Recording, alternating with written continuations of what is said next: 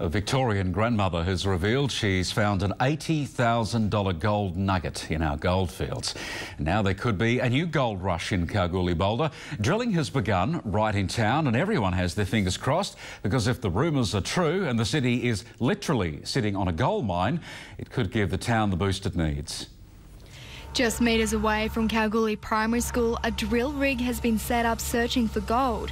For the past four weeks, Australian diamond drillers have been drilling 530 metres down. And that's not even halfway to their target. Well, we're looking for uh, mineralisation extensions that um, would be running out of the Mount Charlotte uh, leases. There's some northeast structures there that have never been drilled in the town site because there's never been any drilling in the town site. For years, it's been said the Kalgoorlie town site is sitting on gold-rich deposits. However, miners aren't allowed to mine within 100 metres of the surface in town. So, any potential developments may take place 100 metres below your house. We'd hope to um, come to some arrangement with KCMG and then the, any uh, development, which would take a long time because there's um, a lot of follow-up work that would have to be done. Uh, any development would be underground.